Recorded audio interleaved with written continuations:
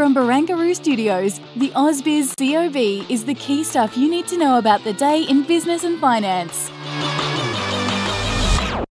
Hello, we made it to Friday, and of course, we touched records today on the local market. What a great session! A very different story over in Japan, where you've got the Nikkei down about 2.5%. Welcome to the COB, I'm Juliette Saly. Um, just having a quick look at where we are seeing the ASX 200 now.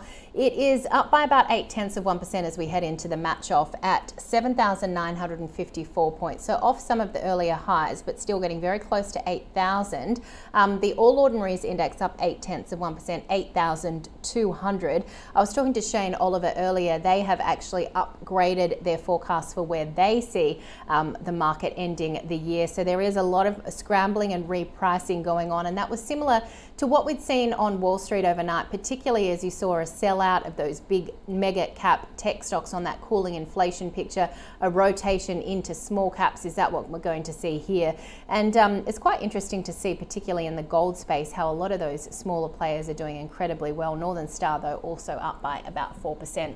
So just getting to the themes, of course, uh, record high, although worth noting, we're just double checking because, of course, the market hasn't shut yet officially. Uh, but it looks like we have um, potentially come off those highs, but the uh, one of the indexes I'm hearing is a record high. We will get a confirmation on which one that is in a moment. But in terms of a lot of the momentum that we have been seeing from these gains in the market, it's also due to the fact that you saw CBA continuing to hit these records. I mean, despite the fact so many people say CBA is overpriced, it once again hit a record $131.60 with a $221 billion market value. Now, BHP has a market cap of $220 billion and uh, yenflation, if you will, because we saw that big spike coming through in the yen, sparking calls, of course, that there had been currency intervention. Uh, as I mentioned, we are seeing the Nikkei lower. They always move inversely to each other. When the yen goes up, Tokyo stocks go down. All right, let's have a quick look at what we're seeing in terms of those banking players, particularly where CBA is trading. As I mentioned, it has been the key story of the day, that rise and rise. Um, just off those records, it looks like on the close, but $131.43, still a gain of 1.5%. When it comes to the mining stocks today, having a look at where we are seeing those players. Uh, if we can flip the board, I think BHP we mentioned was under a little bit of pressure. Uh, down four tenths of 1%, $43.36. Rio Tinto, they're pretty flat. The iron ore players looking quite good. A quick look as well at some of the retail players today, all looking pretty positive. Lovisa, Premier Investments, Harvey Norman, JB Hi-Fi, Wesfarmers, all ending higher. All right, well, we mentioned shares in CBA hitting a record. That's a $221 billion market value. BHP coming off, it says it will shut its nickel operations in Western Australia. Rio Tinto there um, tracking as well. Citi suggesting it could look at a deal for Arcadium Lithium. NAB shares hitting their highest since the GFC. At one point, they were at $36.89. And shares in regional airline Rex, about 8 tenths of 1% lower, it revealed it's facing a boardroom split. Let's make sense of all the market action. Henry Jennings from Marcus Today joins us. CBA finally trumping BHP.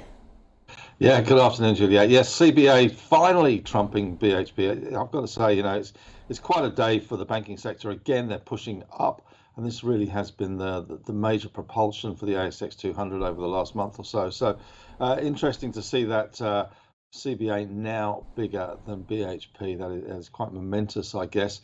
Of course, uh, BHP probably suffering a little bit because of that uh, nickel news yesterday, and of course also in the background that uh, takeover.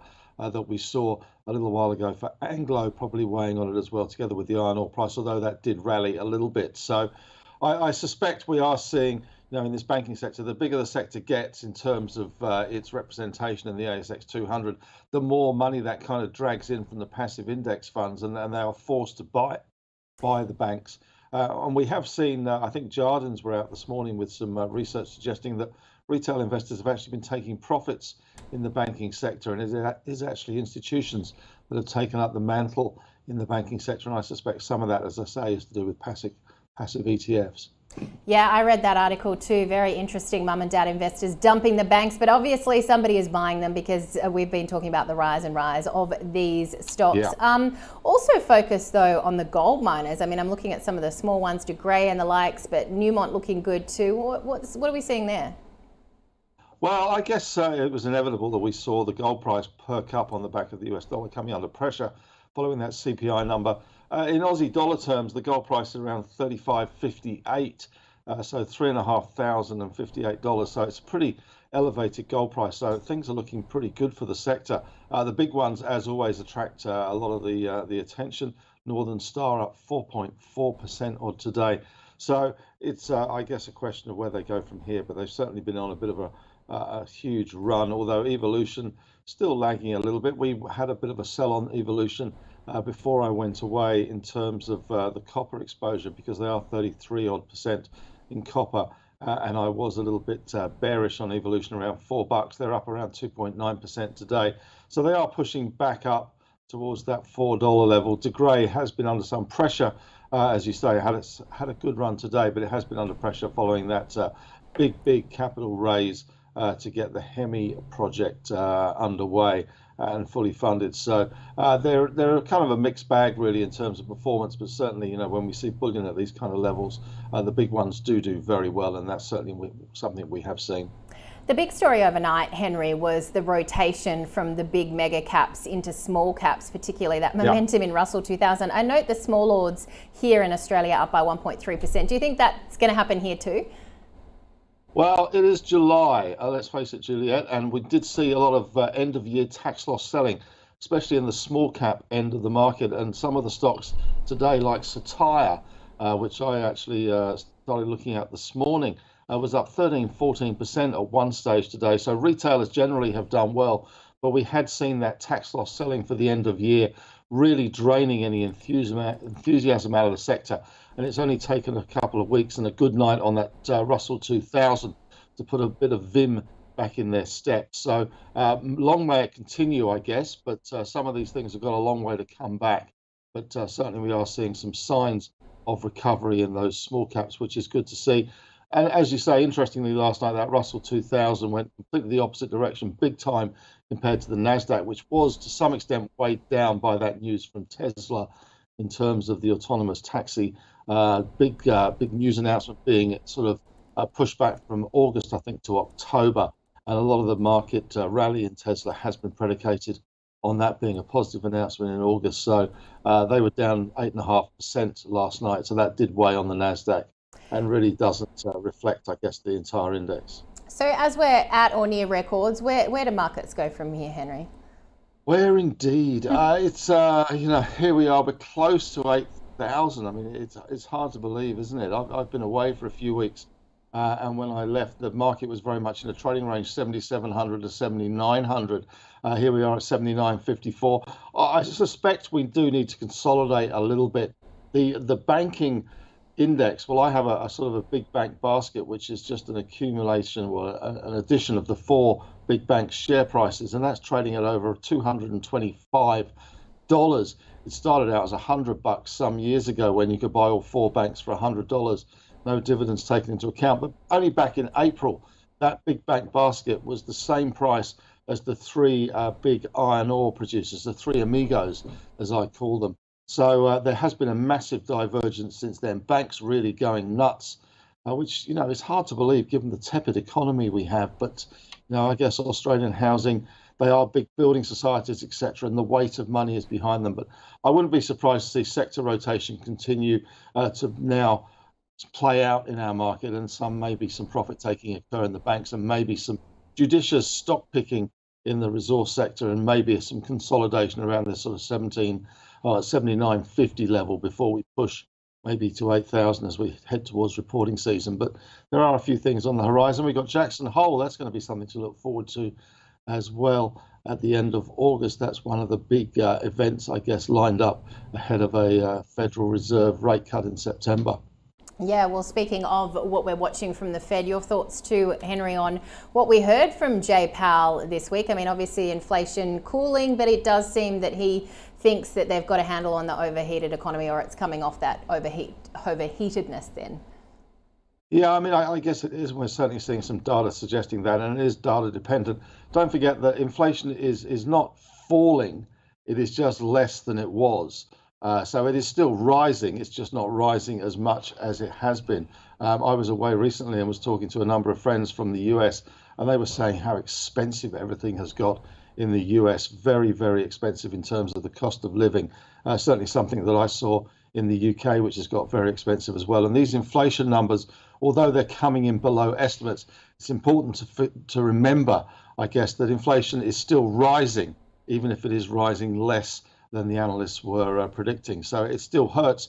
And you've got to remember that it's rising on a higher base. So, uh, you know, prices having pushed up quite considerably uh, are now slowing but they're still pushing up. So, you know, the race and the battle against inflation is not yet won, but uh, certainly looks as if Powell and his buddies will cut rates in September.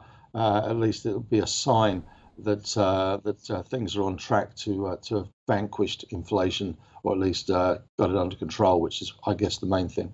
All right. Well, welcome back from your holidays, and great to have you on. Such a momentous day, Henry. it is. It, it is, is, isn't it? Yeah, really exciting day.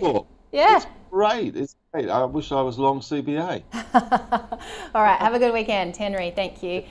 Henry Jennings from Marcus today. Yeah, incredible. CBA now overtaking BHP as Australia's most valuable company. But the stock of the day was BHP following the company's announcement its nickel activities would leave Western Australia. Both our guests seem to agree. Let's hear what Jonathan Takadina and June Bei Liu had to say.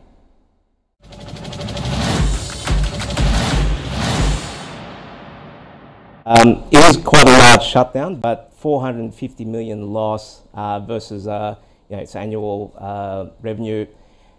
You can see that market initially sold off and it's bought it back higher. We're still at the bottom end of the range, um, and I do think that uh, you know, it's, still a, it's still a great company. It is the leader uh, in the space, so I still maintain that buy that I had last week. So use this opportunity to top up they do have the uh, options on it, so you know, there should be some volatility and sell some puts on it.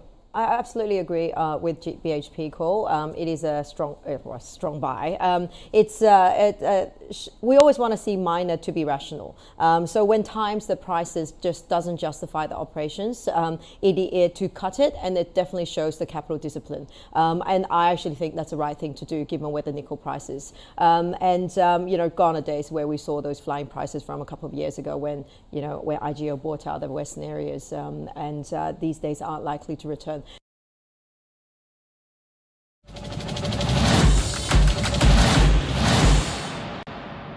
All right, well, at or near records, but we're going to keep you in suspense with what the market leaders were and get to the laggards first. Kicking it off with Computershare, which was down about 4%. WiseTech Global also weaker by 3.7%. Of course, there was that switch out of tech stocks globally into small caps, as we've been seeing. I mentioned the Small Ordinaries Index up over 1.3% today. Also, a bit of weakness coming through from Illumina, Audinate, and QBE Insurance. Let's see if we've got some of the market leaders there. If not, I can bring up my ASX 200 and tell you what they were. We saw in terms of the top movers today, uh, Domain Holdings up by 6%, Charter Hall up 6%, James Hardie up 5.5, Genesis Minerals up 5 and GPT Group up 5%. But of course, the big story of the day that we cannot forget is the fact that CBA is now Australia's most valuable company, overtaking BHP with a market cap of $221 billion. BHP has $220 billion market cap. Okay, let's have a look at what we're going to see in terms of, well, there's a quick look at the small cap leaders and laggards as well. Immutep up 20%, MedAdvisor up 11.6, and um, if we have a look at the laggards as well, Legacy Iron Ore, Titomic Cash Converters, Red Hill Minerals, and Australian Vanadium. So tonight, um, we actually got that inflation figure yesterday, but we're going to get producer prices month on month. Also, the US University of Michigan Sentiment Survey and French final CPI month on month just after their elections as well. Let's have a look at what we've got a week ahead. It's all going to be about that June um, unemployment data coming through on Thursday. We've also got the ECB policy decision, UK kicking it off with June CPI and PPI the US Empire Manufacturing Index for July, and a number of quarterly reports, including Rio, BHP, which will be interesting after the suspension of its nickel operations in WA. Newmont, I was talking about that stock with Thomas Atkinson from FX Evolution. He says it is on a breakout at the moment. Santos, Whitehaven Coal, Evolution Mining, and Hub24. And we are going to be, I believe, speaking to the Hub24 CEO next week. All right, let's just give you a quick look on where we are seeing markets. Um, the ASX 200 closing higher by 8 tenths of 1%, 7,959, a new 100 day high. This has been really quite extraordinary to see these records being touched, particularly in the intraday session. As uh, Henry mentioned, we're getting very, very close to 8,000 points there on the ASX 200, and this is really as we're starting to see a lot of buying coming through in the banks. CBA uh, really hitting another record high, $131.60 at one point, and also gold topping 2400, really helping a lot of those gold miners. So a very momentous day on the Australian market. We will be watching overseas markets uh, tonight and bring you all the reaction and what we can expect for another trading week next week. We'll see you from 9:45 a.m. Eastern on Monday.